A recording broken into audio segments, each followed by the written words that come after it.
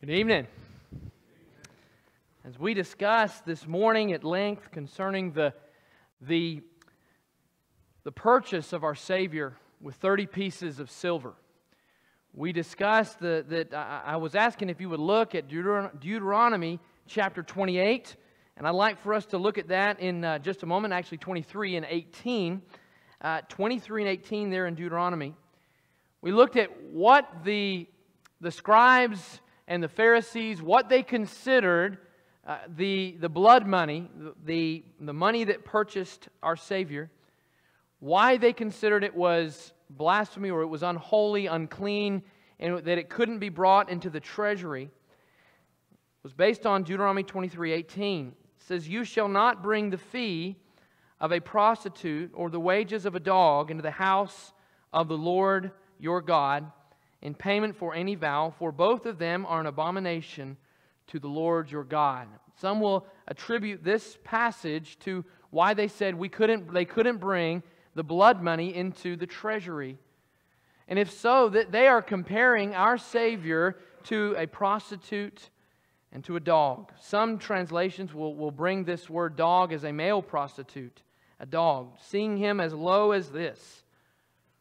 But if they're referring to him in this reference, they're, they're, they're seeing this as ill gotten gain. They're seeing this as, as, as money that has ill repute and, and should not be brought into the treasury.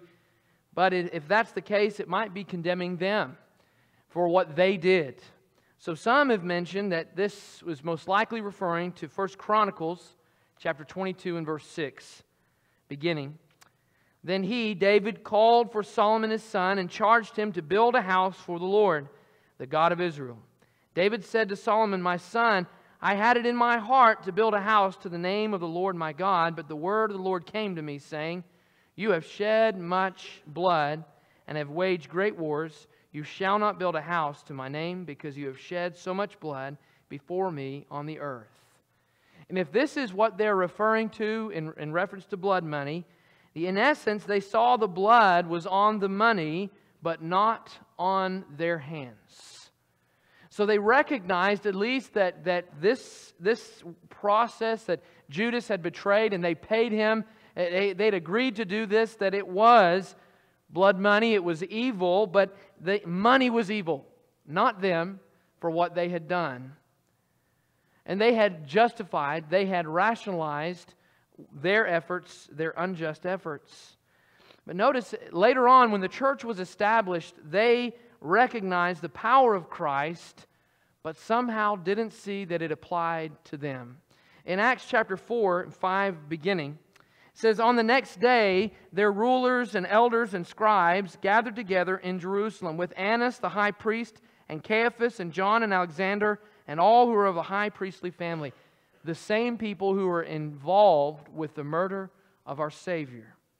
And when they had set them in the midst, they inquired, By what power and by what name do, did you do this? They healed the lame beggar in chapter 3. Then Peter, verse 8, he tells them, You asked. He says this Then Peter, filled with the Holy Spirit, said to them, Rulers of the people and elders, if we're being examined today concerning a good deed done to a crippled man, by what means this man has been healed, let it be known to all of you, to all the people of Israel, that by the name of Jesus Christ of Nazareth, whom you crucified, whom God raised from the dead, by him this man is standing before you well. This Jesus is the stone that was rejected by you, the builders, which has become the cornerstone. And there is salvation in no one else, for is, there is no other name under heaven given among men by which we must be saved. Now, when they saw the boldness of Peter and John and perceived that they were uneducated, common men, they were astonished and they recognized that they had been with Jesus. It almost shows maybe that, they, that there's a glimpse, a glimmer of hope that they might turn. They recognized these men could not have been ed- were not educated like they were, and therefore they had this boldness, they had this, this wisdom, and had, they had sat at the feet of Jesus. Seeing the man who was healed standing beside them, they had nothing to say in opposition. Wow, there's still that glimmer of hope. Maybe they saw that there was nothing they could say that would oppose this. Does this mean that they're going to believe? Verse 15, but when they had commanded them to leave the council, they conferred with one another, saying, What shall we do with these men? For a notable sign has been performed through them, and it is evident to all the inhabitants of Jerusalem, and we cannot deny it. Wow, they're, they're saying they can't even deny what has just taken place. Surely they're going to obey. Surely they're going to repent. Verse 17, but in order that it may spread no further among the people, they said, Let us warn them to speak no more to anyone in this name. Seeing is not always believing. Their belief, they had enough belief to the point they couldn't deny it, but they couldn't accept it either.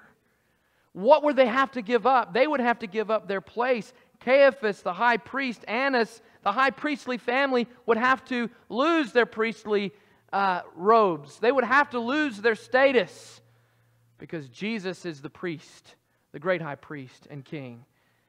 They may believe it, but they weren't willing to accept it. It was too much for them to give up. James chapter 2, we're told that if you believe, you do well.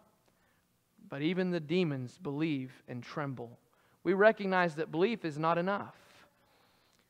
They recognized that the money that purchased our Savior was blood money, but it wasn't enough that would bring them to repentance.